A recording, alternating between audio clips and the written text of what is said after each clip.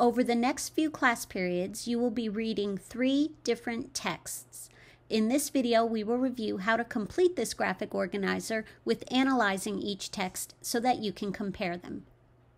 Use a different column for each of the three texts. In the first row, type the text name. Be sure and type with correct capitalization and spelling. If the author's name is given, type that in the second row. If you don't know an author name, type unknown. For the texts we're working with in class, though, you should know the author names. Genre refers to what kind of text it is. The three texts you will be reading are each from a different genre. Identify the genre in the third row. Author's purpose refers to why the author wrote the text to persuade, to entertain, to inform. But we want to take our thinking just a little deeper. Don't just write, persuade, entertain, or inform. What was the author trying to persuade you of?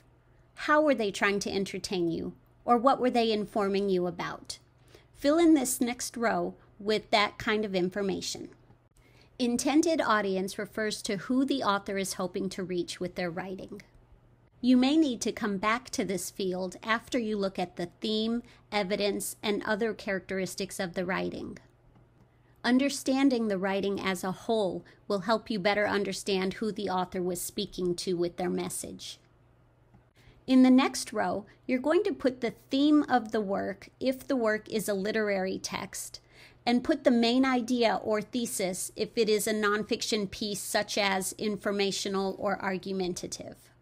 It can be very interesting to compare how authors who write different genres of work can express a similar idea through the theme or the main idea or thesis of the piece.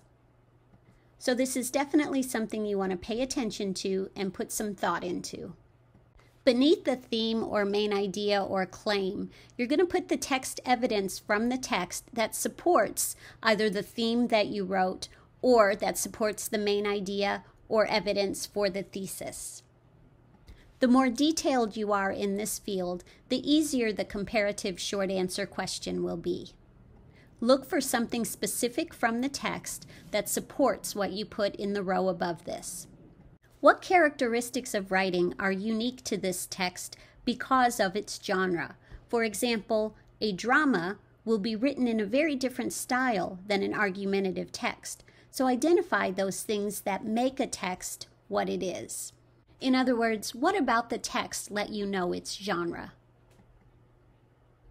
And finally, for each text that you read, note any unique author choices, such as tone words, rhetorical strategies, use of figurative language, those things that stood out to you as you were reading. Remember, you're going to be working with this chart over the next few days as you read three different texts from three different genres. Use a separate column for each text to record all of the things that we discussed in this video.